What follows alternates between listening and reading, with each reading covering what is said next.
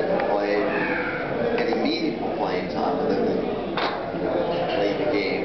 It's an Emerald Bowl. Yeah. As you look back at it now, how much does that help your confidence? How, how good do you feel about coming through like you did against? I thought it was big.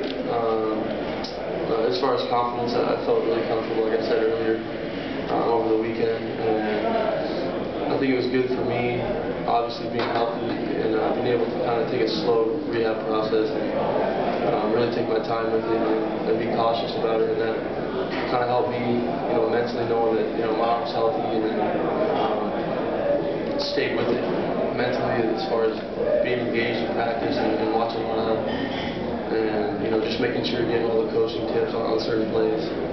um, you know, and then when I was called upon, I was ready to go.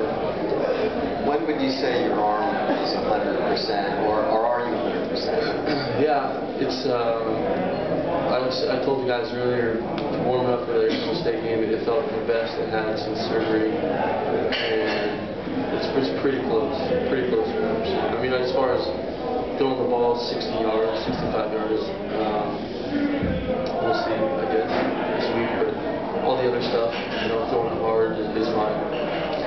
And when you had the interception went the other way, did you just draw on all the games that you've already played in here, your experiences, that would help you come back from that? Maybe a little. I. Um, I didn't think about it too much. And, you know, the guys were there and they kind of rallied around me and said, hey, let's go. We'll get it back. And nobody blinked.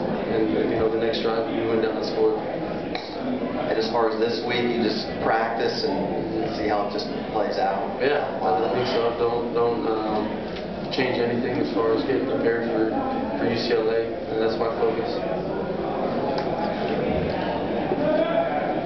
Sean, people have commented, during the game, it seemed evident, but that, did you feel like you were more exuberant, emotional on the field after some of the big plays? Is that true, and if so, where, did that come from? I don't know, but that's probably probably is true. I was pretty excited about it, you know, after a few of those big plays. Um, and it's probably, you know, probably the most fun I've had playing football in a game ever. Mean, what, what, just because it had been so long, so much pent-up stuff, or what? Yeah, I mean, a mix of that. Um, I think, to be honest, last year there, were times that, that took things a little too seriously. And, um, you know, one of the things that, you know, a great credit to Lyle is you watch him play and he has so much fun.